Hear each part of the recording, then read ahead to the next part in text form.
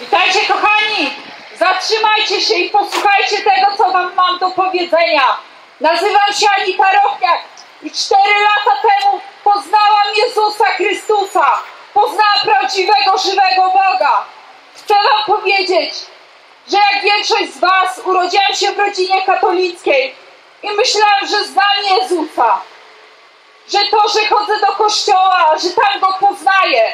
Ale chcę wam powiedzieć, że Jezusa poznałam cztery lata temu.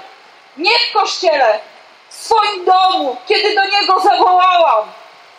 Bo Bóg jest żywy i On potrzebuje Twojej, twojej decyzji. Potrzebuje tego, żebyś zawołał do Niego. Wiecie co? Chcę Wam powiedzieć, że jeżeli w Waszym życiu nie było momentu, w którym spotkaliście się z żywym Bogiem, nie znacie Go. I nie są ważne żadne obrzędy religijne, żadne regułki. Nie znacie Jezusa. Nie narodziliście się na nowo z Bożego Ducha. Jezus Chrystus dwa tysiące lat temu przyszedł na tą ziemię, aby Cię zbawić. Jeżeli nie poznałeś Jezusa, jesteś winny.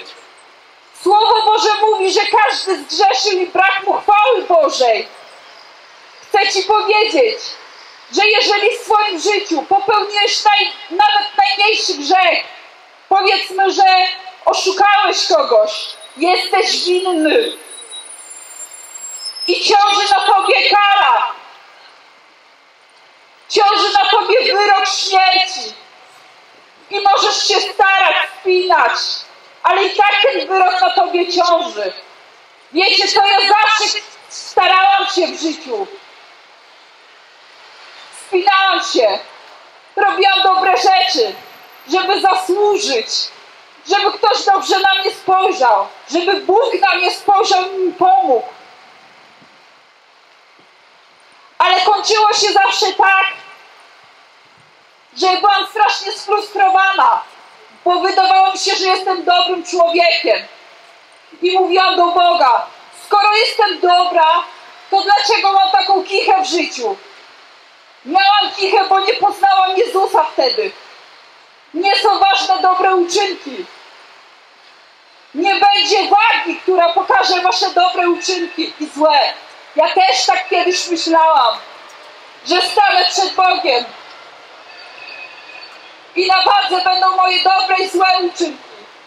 Więcej będzie tych dobrych i Bóg do mnie powie Kaman, chodź do nieba, bądź dobrym człowiekiem. Ale zbawienie jest za darmo, za darmo, z łaski. Żebyś właśnie nie powiedział tak przed Bogiem, zasłużyłem, bo w ogóle nie zasłużyłeś. Zasłużyłeś tak naprawdę na to, żeby iść do piekła. Bo każdy zgrzeszył brak mu chwały Bożej. I po to właśnie przyszedł Jezus. Dwa tysiące lat temu przyszedł na tą ziemię, żył w ciele, tak jak ty. Nie zgrzeszył ani razu. Nie popełnił najmniejszego grzechu. Żył świętym życiem.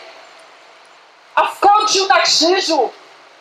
Dał się przybić do krzyża, choć na to nie zasłużył. Ale został przybity do krzyża za ciebie. Tam wykonała się zamiana. Tam powinieneś wisieć ty, ale on zajść zamiast ciebie. Żebyś ty, jeśli tylko uwierzysz w to, że On umarł za Twoje grzechy, że On poniósł Twoje grzechy, został usprawiedliwiony za darmo. Jeśli tylko uwierzysz w to, że Jezus poniósł Twój grzech, Twoją grzeszną naturę i umarł zamiast Ciebie, otworzysz sobie bramy do nieba. On zasłużył zamiast Ciebie, wystarczy to przyjąć. To już się wykonało. Na krzyżu Jezus nie tylko poniósł Twój grzech, ale wszelką chorobę, jej niemoc. Jeśli jesteś na cokolwiek chory, nieważne na co, mówię o każdej chorobie, od przeziębienia po nowotwór, to chcę Ci powiedzieć, że jest to nielegalnie w Twoim życiu. Choroba jest nielegalnie. Jeśli jesteś chory, to przyjdź. Przyjdź. Próbę. Położę na Ciebie swoje ręce i zostaniesz uzdrowiony. I to tylko dlatego, że Jezus poniósł chorobę i Twoją niemoc. Jeśli tylko w to uwierzysz, będziesz zbawiony, będziesz wolny. Chcę Ci powiedzieć, że jeśli nie spotkałeś się z Bogiem, jesteś do Niego odwrócony, nie znasz Go. Nie potrzebujesz żadnych rytuałów. Ja poznałam Jezusa tak, że ze szczerego serca zawołałam do Niego i powiedziałam, Jezu, jeśli Ty w ogóle jesteś, to zmień moje życie. Wiecie, ja opuściłam wtedy gardę. Ja odrzuciłam swoje ego. To, że ja jestem sobie Panem. I zaprosiłam Boga do swojego życia. I Ty możesz to też zrobić. Bóg jest dostępny, Bóg jest bliski. Tylko musisz tego zapragnąć. Bóg patrzy na serce.